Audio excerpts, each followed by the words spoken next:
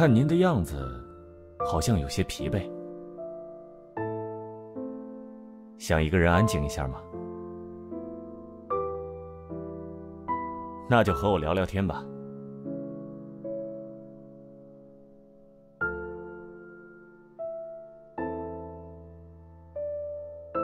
会被录下来。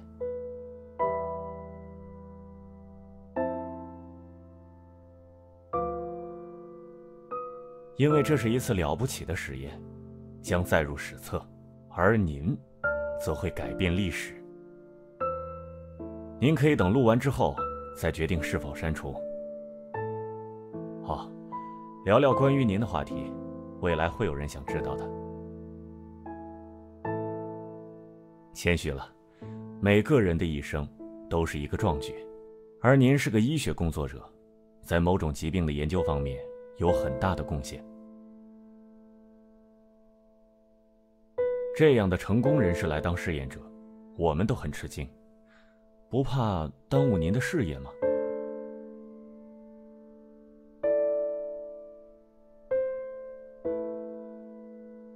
看来您仔细研究过我们，这是我们的荣幸。哦，什么帮助？如果实验成功，我们就能帮到您了。当然。不排除失败的可能性。要是出了差错，你的部分程序性记忆也会有损坏。所以我刚刚才会问，是否担心事业被影响？毕竟在那个疾病研究的领域，您是非常权威的专家。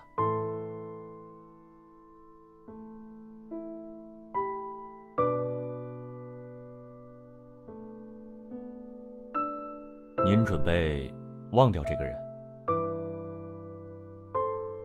这样您会轻松一些吗？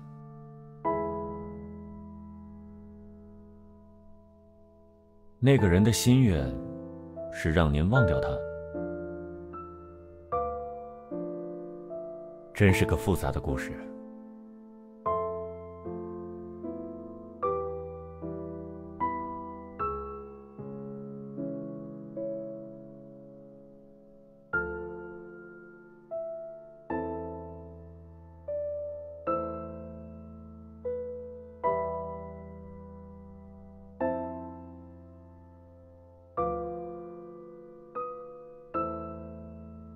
难怪您会来，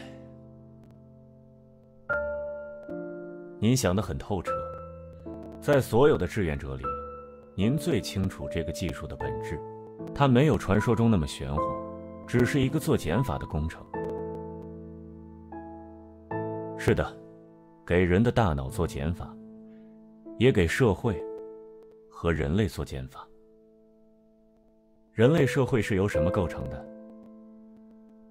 但您刚才已经给出了答案，是故事。我们每个人都活在故事里，小故事、大故事，还有巨大的故事。任何一个物种能繁衍至今，都是因为它的基因符合自然选择。人类之所以繁荣昌盛，则是因为我们的大脑能够理解故事。我们可以理解虚构的、不存在的故事。然后创造故事，用故事再创造出意义。这是我们和世界战斗的武器，也是社会构成的前提。人类是在故事中进化的。刚开始，我们只有简单的故事，告诉我们前人如何捕猎、耕种。后来，我们需要团结更多的人，于是有了神话。但随着我们的进步，神话不再能够满足我们，后来诞生了新的故事，宗教的故事，启蒙的故事，自由的故事，解放的故事，等等等等。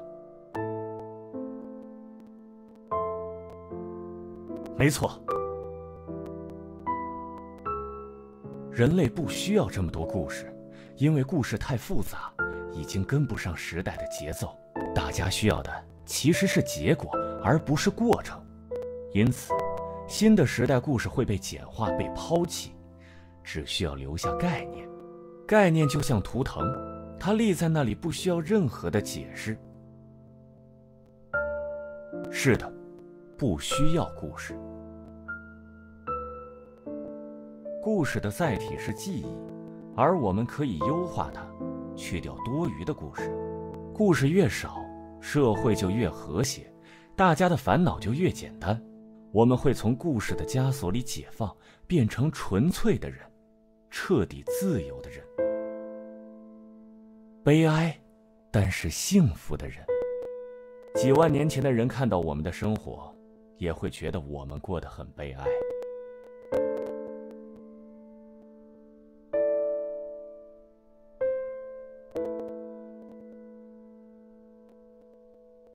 就快了，不过在开始之前，我们将进行一项重要的工作。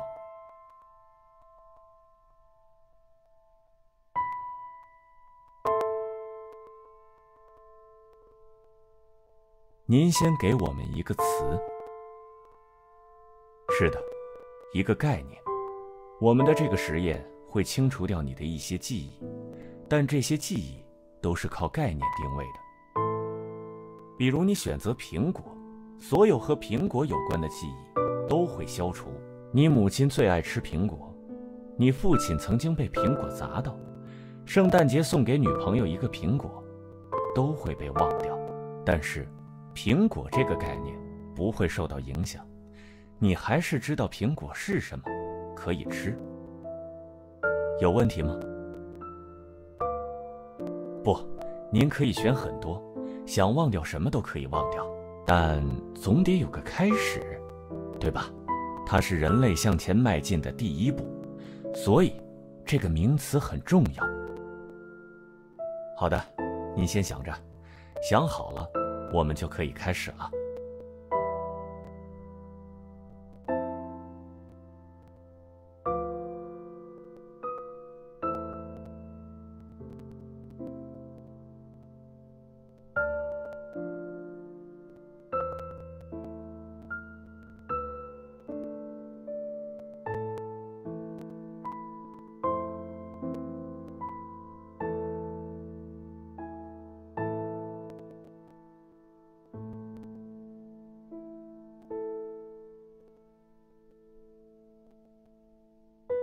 明白，epiphyllum，昙花，我们未来的机构将以此为名。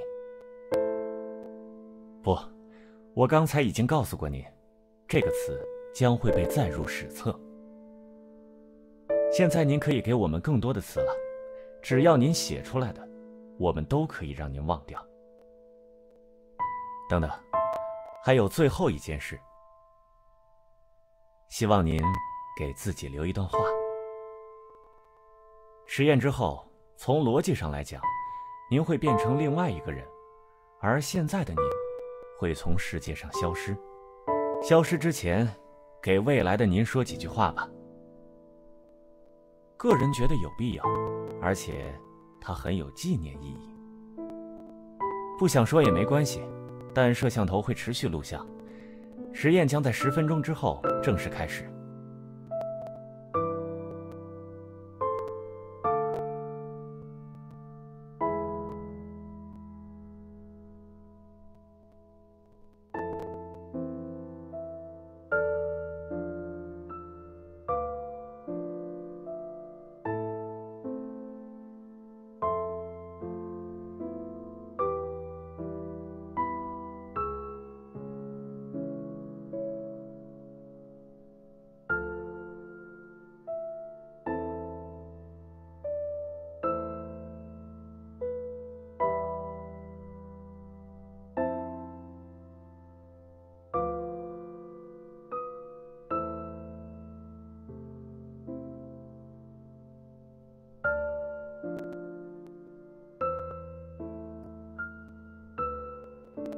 倒计时开始，五、四、三、二、一。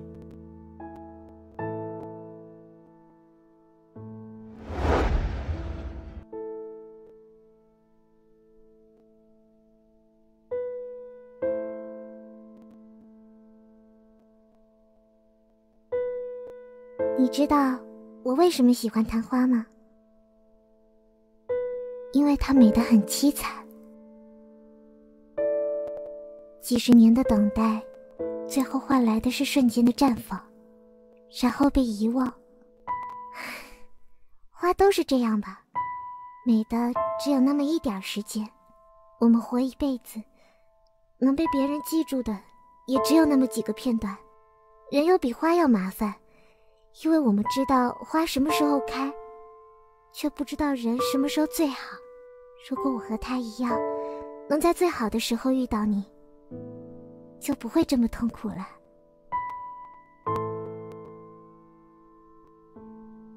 把他留在你的世界里吧，即使很多年后，你想按照明信片把过去的故事拼起来。里面也不会有我，我会和你忘掉我一样忘掉你。从此，我们再无关系，再见。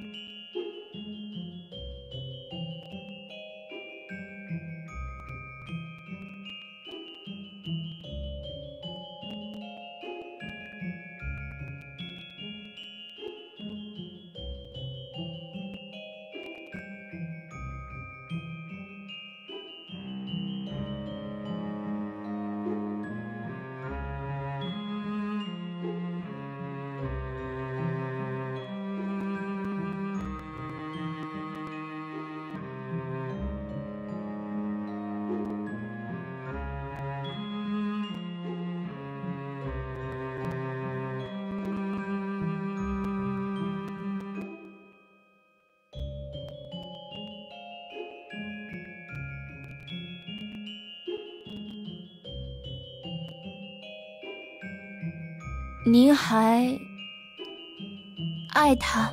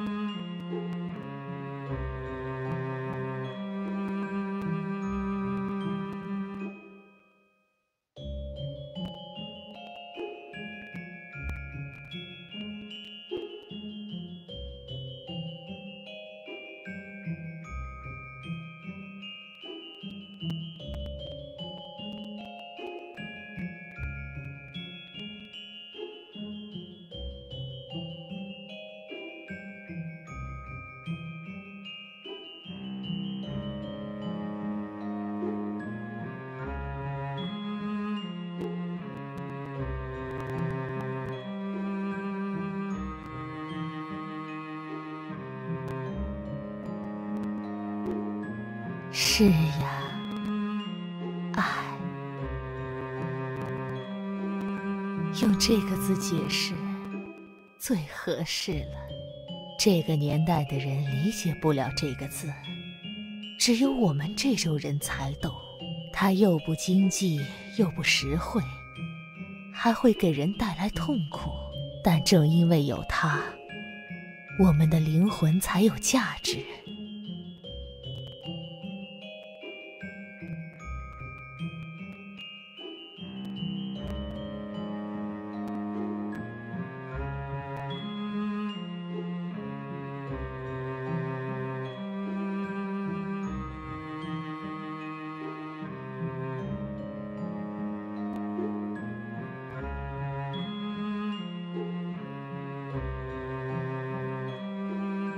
可能他也爱你吧，所以他忘掉的第一个词是昙花。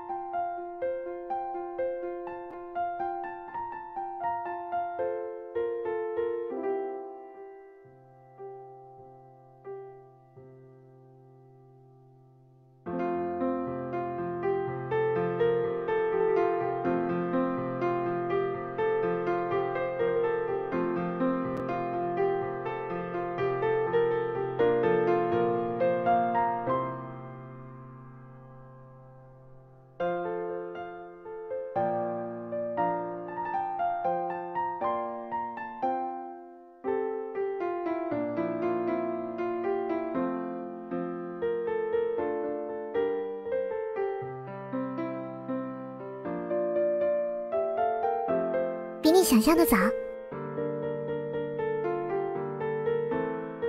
那是因为我学的像，他的字迹不难模仿。不要小看恋爱中的女孩子，可不止这么点。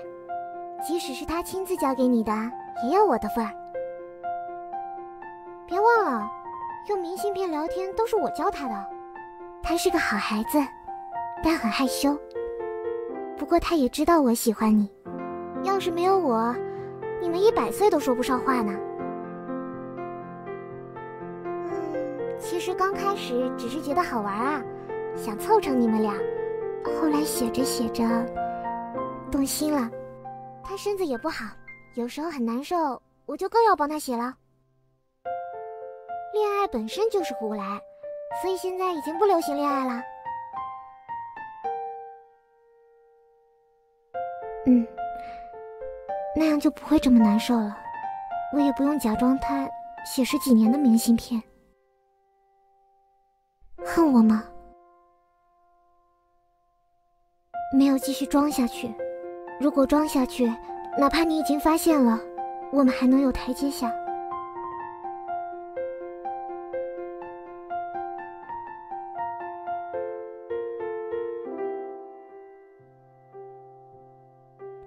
是的。你把我们记混了，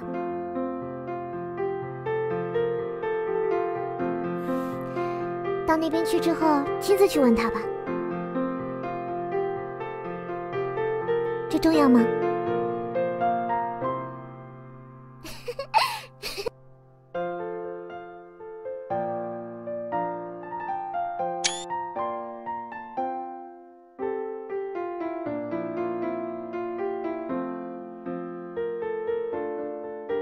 现在想起来也好，看来我没白等。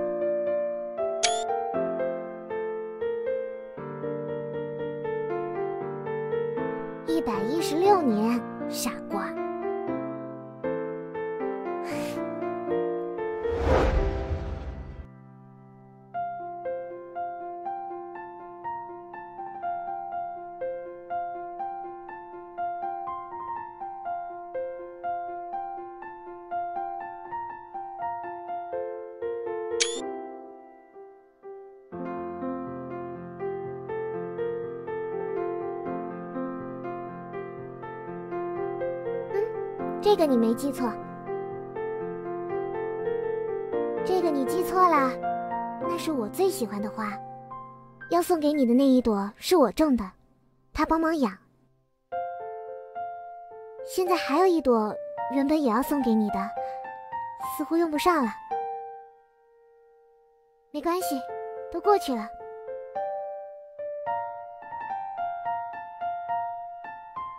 不是了，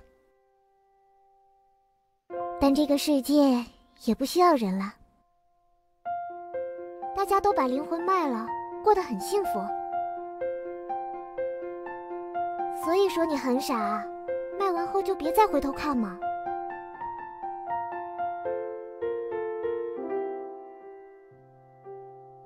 去吧。不会，我还没活够呢。我还有学生要教，还有很多事要做。你先去找他，说过几年我再来，就当是我假扮他给你写明信片的补偿。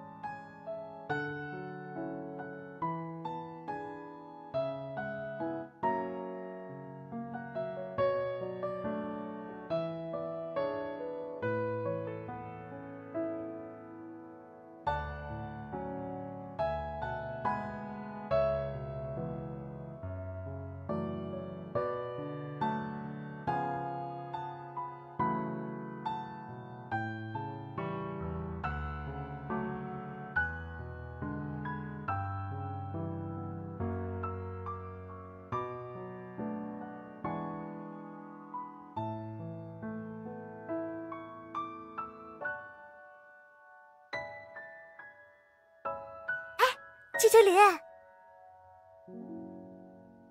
有人找你，是个帅哥啊！是不是你在酒吧里认识的？居然把男人带到公司，真厉害啊！我又不是你。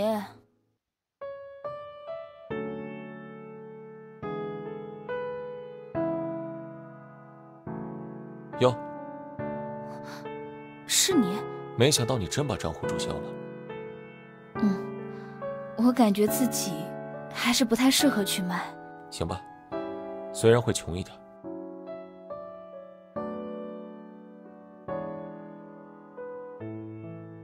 这个给你。给我？花玲老师嘱咐的，如果你不再卖灵魂，就把这个送给你。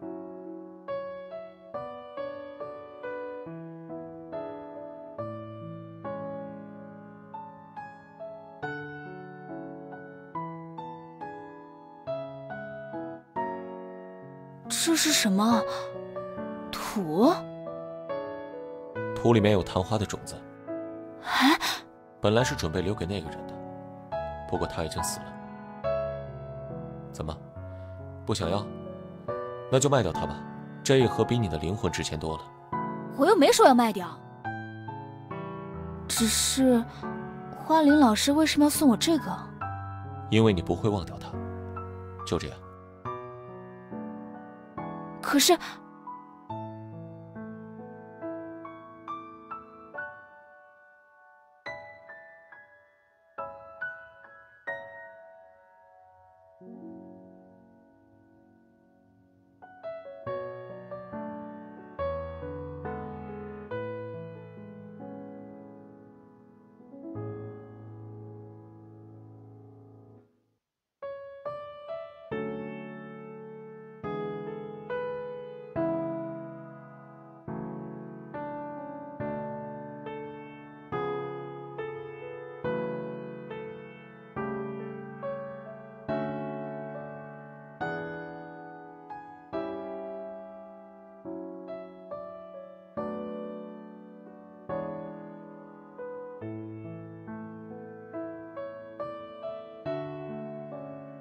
那就先把你养大吧。